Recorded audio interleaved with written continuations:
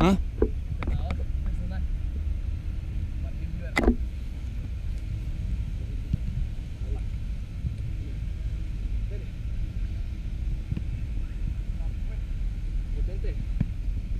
Thank you.